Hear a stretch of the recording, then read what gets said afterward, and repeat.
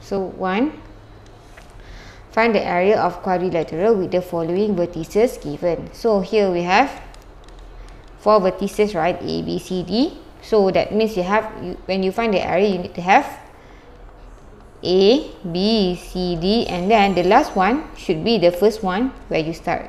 So A, B, C, D this one should be A again. So here 1, 7 here. So half. So I start with 1, 7, negative 5, 6, negative 2, negative 4, 2, negative 3 and then you come back to 1, 7, the first one which is equal to half. So up to down you have to multiply. So 1 times 6 you get 6. 5 times negative 5 times negative 4 you get uh, 20 right positive 20 because negative and negative so this one plus up to down you plus negative 2 times negative 3 you get 6 so plus 6 2 times 7 you get 14 14 and down to up you have 2 minus. So negative 7 times negative 5 you get negative 35 right? So minus negative 35 6 times negative 2 you get minus negative 12 negative 4 times negative 2 is negative 8 so minus negative 8 so negative 3 times 1 you get negative 3 so minus negative 3 so here we get half. So 6 plus 20 plus 6 plus 14 negative negative become positive. Negative negative become positive. Negative negative become positive. Negative negative become positive. So here we get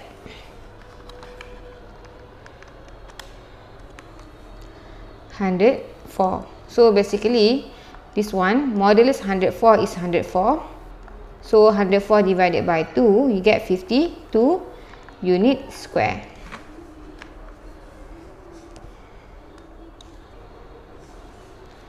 So b half we have 2 9 negative 6 4 negative 1 negative 3 8 1 and the last one after the 4 point you have to need you need to have 2 9 the first one.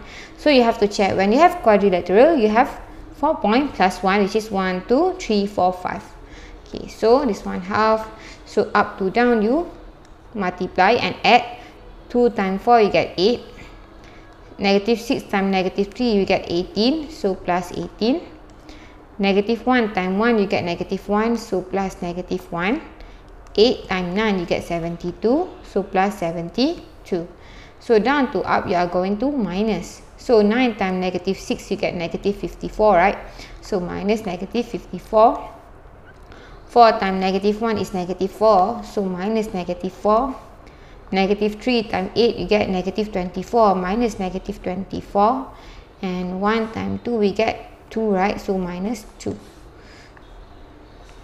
which is equal to half. So 8 plus 18 positive negative negative 1 plus 72 negative negative become positive negative negative become positive negative negative become positive and minus 2 so here is equal to half. This one is 177 which is equal to half 177 so 177 divided by 2 we get 88.5 unit square or 88 1 over 2 unit square because like 0 0.5 is equal to 1 over 2 so this one.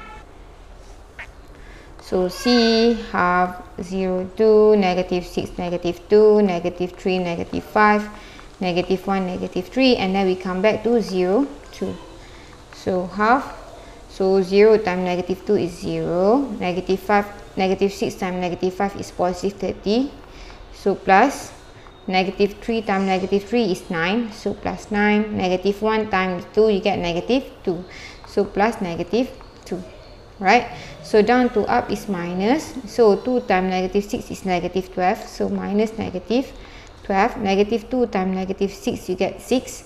So minus 6 negative 5 times negative 1 you get 5 right? So minus 5 and then negative 3 times 0 is 0 so minus 0 you don't even have to right? So here we get half. So this one is 30 plus 9 positive negative minus 2 negative negative positive 12 this one is minus 6 minus 5 so here we get 38 which is equal to half. 38 38 divided by 2 is 90 19 units square.